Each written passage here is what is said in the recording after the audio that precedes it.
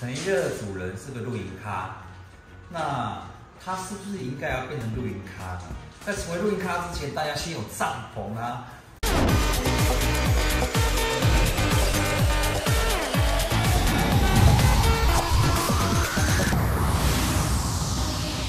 一乐，你有帐篷了耶？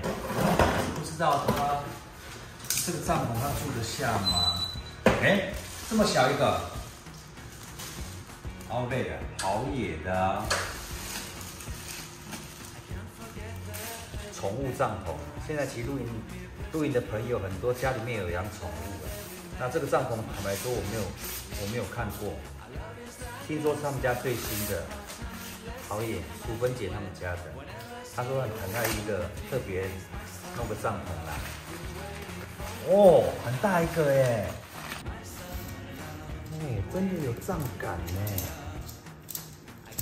看来是很逼真的呢，不是开玩笑那种一般宠物帐呢。一乐，快点，等下你有帐篷了。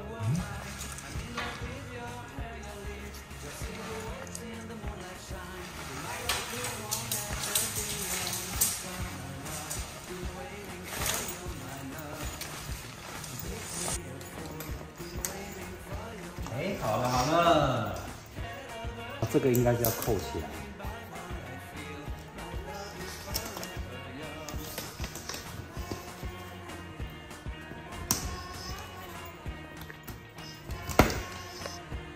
全乐的帐篷完成啦！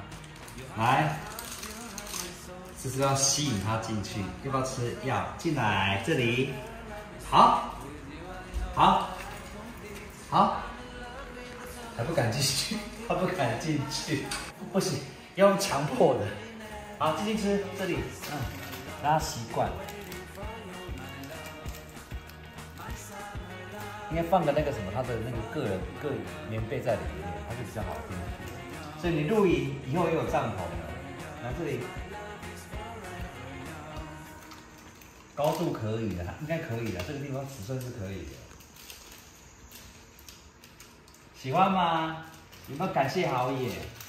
感谢好野的那个淑芬姐，送你一个这个这么帅，而且是军绿色的，最适合他的。大气不知道可不可以住哈？